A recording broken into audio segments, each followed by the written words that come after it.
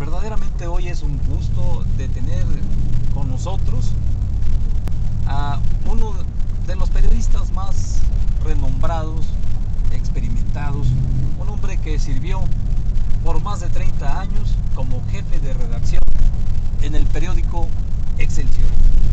Se trata del señor Guillermo Ayala Ortiz, un economista, un hombre con convicciones, periodista, un hombre sencillo, de un hacer y hablar con esa dimensión que lo caracteriza. Y hoy está con nosotros y seguramente nos va a describir la parte más importante de los presidentes de la República con los cuales él convivió por mucho tiempo desde el punto de vista periodístico.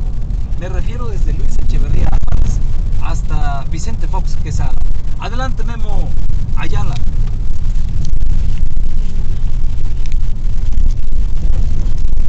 Bueno, ser periodista no solamente es una actividad profesional, es una responsabilidad.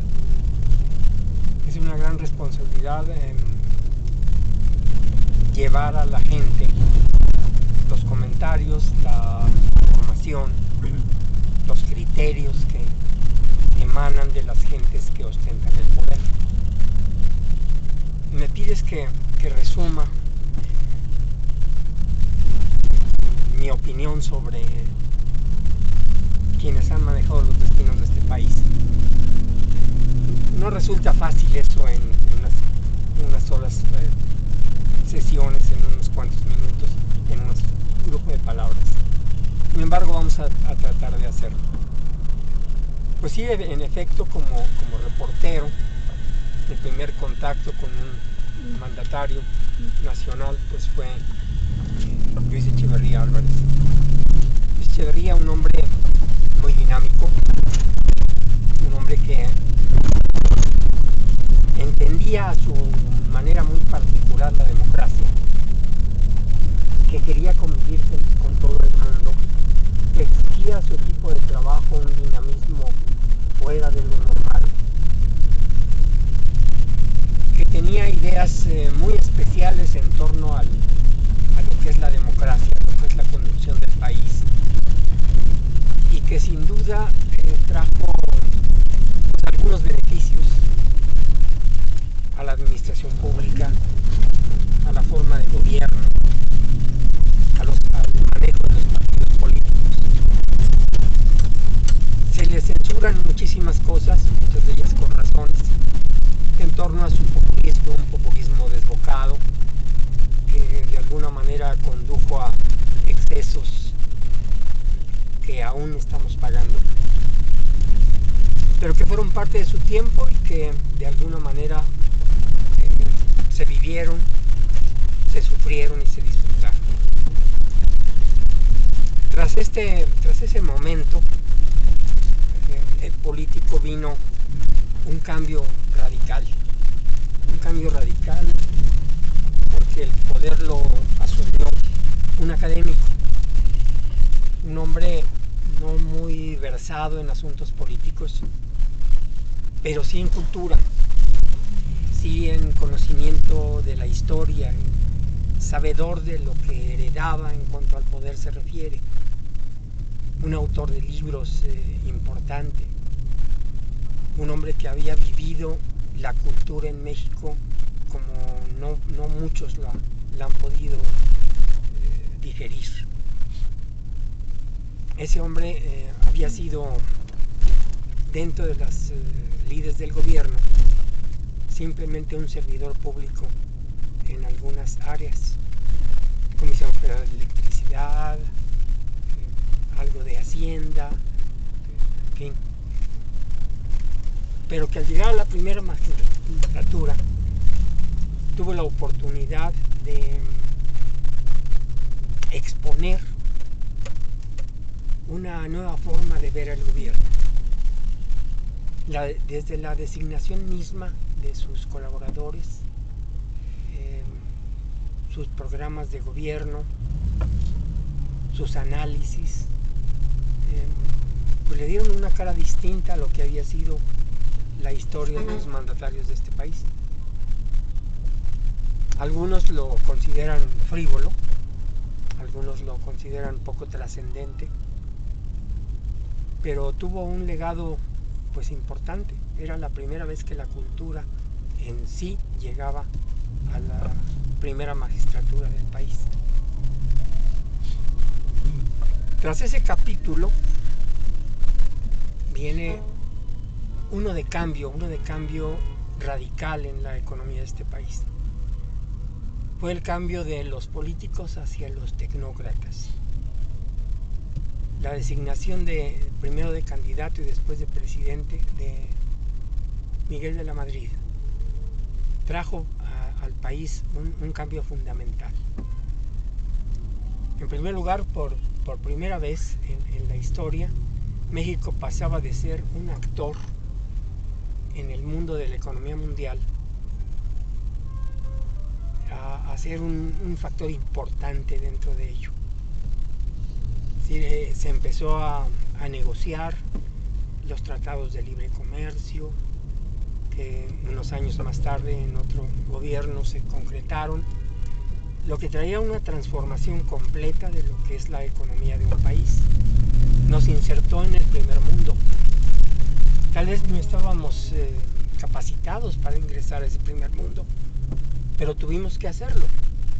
No quedaba otra, el, país no podía ser una, una isleta aislada del resto del mundo teníamos que tener un papel importante y lo asumimos. Tuvimos errores en ello, entramos en, en convenios, en tratados, en los que la falta de equidad, la falta de igualdad, pues nos trajo costos, pero también era obligado a asumirlos. Seis años más tarde, en el gobierno de Carlos Salinas de Gortari, se concretaron esos, esos convenios. México entró un primer mundo sin tener eh, la armadura, el blindaje de, un país de primer mundo y sin embargo pues eh, no nos fue tan mal como era de esperarse. Tuvo muchos costos, algunos de ellos muy graves, sobre todo para las clases menos favorecidas pero de otra manera ya hubo un crecimiento racional, ya hubo una integración hacia la economía mundial, ya tuvimos eh, formas de, consolidar nuestros mercados y de participar en una forma directa en algún tipo de negociaciones de corte mundial. Ese fue el legado de los gobiernos eh, priistas. No terminaron ahí, este, desde luego bajo ese signo todavía gobernó el licenciado Cedillo. El licenciado Cedillo, eh, un, excelente economista, con gran conocimiento de la técnica, empapado de los eh, pues, eh, formas más modernas de, establecer un, un, gobierno económico. llevó al país en una forma ordenada hacia un tránsito político.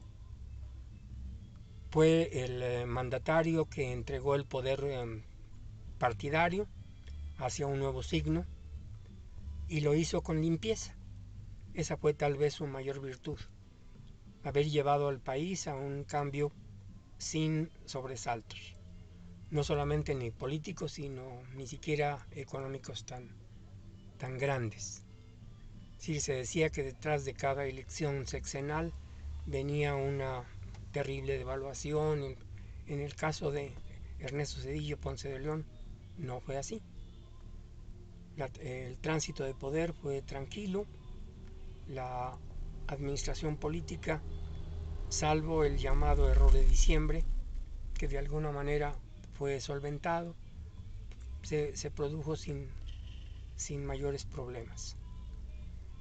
Tras eso vinieron pues 12 años de cambio de signo eh, partidario, en los cuales primero el, presidente Vicente Fox Quesada em, pues trató de hacer un gobierno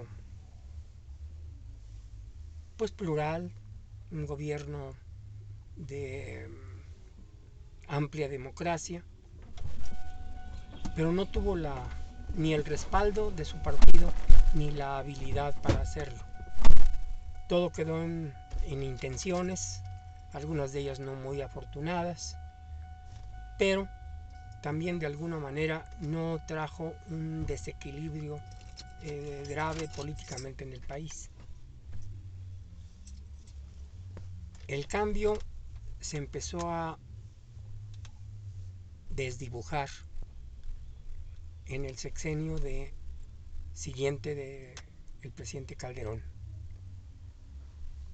principalmente por una estrategia pues poco definida en materia de combate a las drogas. No hubo la habilidad para establecer un combate ordenado. Involucró a las Fuerzas Armadas en una lucha que no le tocaba directamente hacer. Puso en peligro esa confiabilidad en, en un instituto armado que, que no debía haberse metido directamente en ese conflicto que tuvo que hacerlo por, por instrucciones de su jefe máximo. No salió tan mal librado, pero tampoco le fue tan bien. En resumen, eso es lo que puedo comentar de los gobiernos con los que he tenido contacto directo y observación.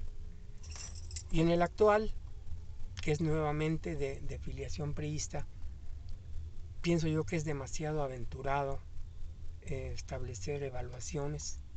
Hay que darle tiempo, dos años no son suficientes.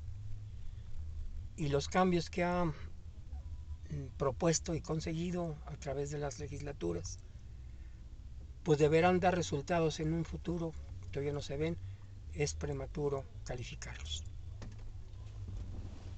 Como siempre, muchas gracias Guillermo Ayala. Y bueno, pues estamos, pasamos a un segundo tema que seguramente les va a gustar a toda la gente que nos está siguiendo a través de todos los medios y será del interés porque se tratan temas de gran trascendencia del acontecer de, del México actual. Bueno, pues muchas gracias Memo y los invitamos a que vean el, la segunda etapa de esta entrevista.